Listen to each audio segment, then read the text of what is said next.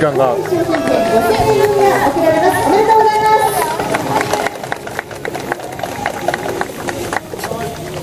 ホームランを含む3安打の大活躍ということで、今日は MVP ということになりましたが、まずはですね、ヒーローインタビューの前に平野選手にやっていただくことがあります。させていただきます。まずは、第2号のホームランの感想から聞かせてください。いやー、別に狙ってないんで、やったまたまた。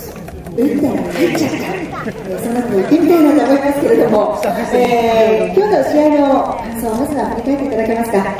そうですね、ちょっと前半に雨が苦しんでて、まあ、3点失っちゃったんですけど、まあ、点は取ってやるから粘るということで、ずっと声をかけて、まあ、本人も気持ちを切り替えて粘ってくれたんで、まあ、それが攻撃につながったんじゃないかなと思います。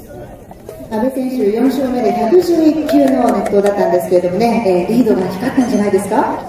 いやー、まあ、特に何もしないんですけどね、いつも。はいやめてやめて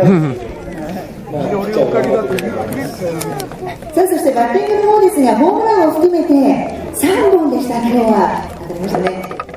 そうですね、まあ、今度、稲葉さんがちょっといなくて、代わりにそんなに入ってるんですけど、まあ、稲葉さんがいないとダメだって思われたくなくて、はい、よっに見せつけてやろうかなと思って頑張りました。はい平野ここにあるというところを稲葉選手に見せつけたかった。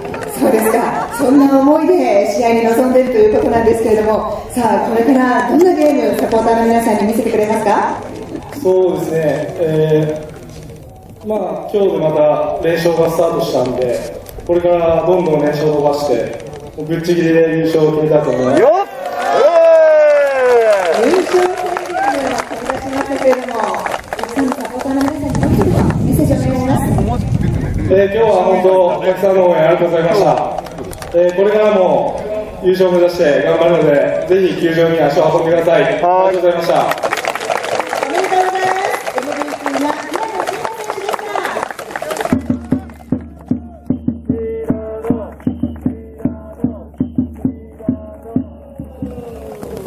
MVP の平野選手もこれからサインボールをスタンドに投げ込みます。よ。